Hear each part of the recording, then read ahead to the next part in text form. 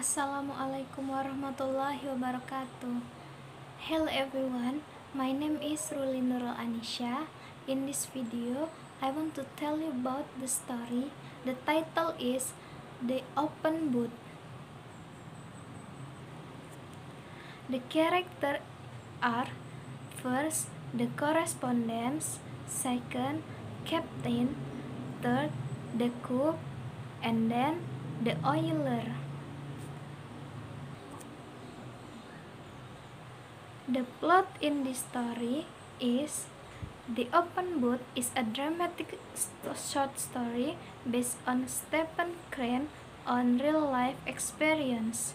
When a ship he was sailing on to scuba sang in high seas of the coast of Florida. He was a correspondent for an American newspaper and he was on his way to write about problems that leads up to the Spanish-American War in 1898. The conflict of the story Open Boat The main conflict of the Open Boat is man versus nature, which, which takes form in the man's on exhaustion and hatred of the ocean. The climax occurs when the men decide to swim to shore. The settings in the sea. The action in the open boat takes place between January 2 and January 4, 1897 of the eastern coast of Florida near Mosquito Inlet, now known as the Ponce de Leon Inlet, about 12 miles south of present-day Daytona Beach. The theme of the story of the open boat is the overwhelming theme of the short story is conflict between the man and the cold indifference of the sea. In the sea, in fact, is a character in its own right, an elemental force unmindful of the human struggle to survive. The racing action in the open boat is a story is ever, everything that happens leading up to the climax. In the story, the open boat is racing action takes up most of the story. The racing action is in the story is four men are lost on the ocean is a tiny boat with crazy wave and they, they are trying to reach land soon or be rescued. The climax of the story, the open boat, is occurs when a monster's wave crashes into the dinghy and the, the four men jump from the boat to save their lives.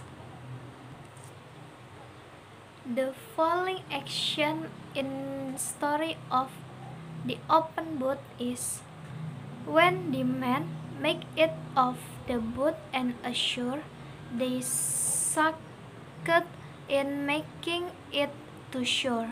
The following action and is indeed to bring the story satisfying end. When they reach the story is a satisfying end. Shh.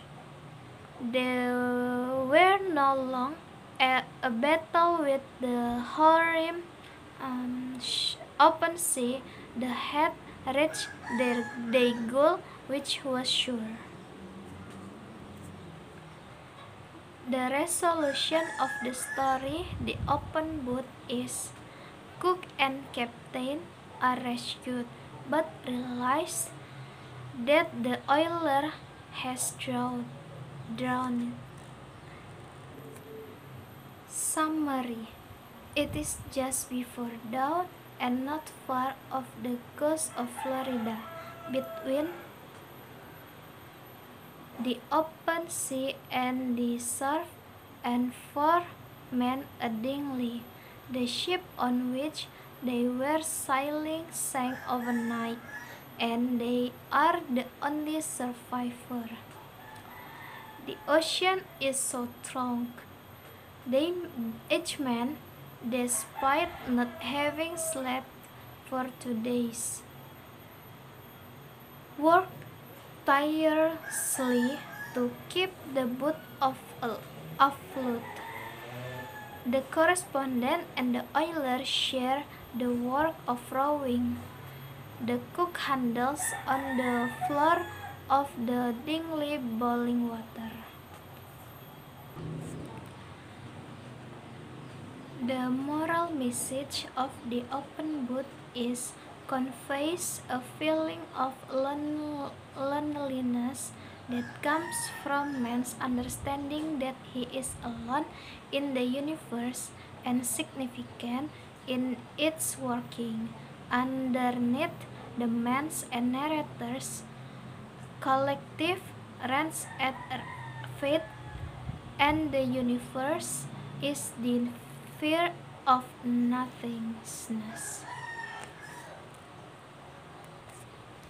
I think that's all about the story of the open boot. Thank you for your attention and wassalamualaikum warahmatullahi wabarakatuh.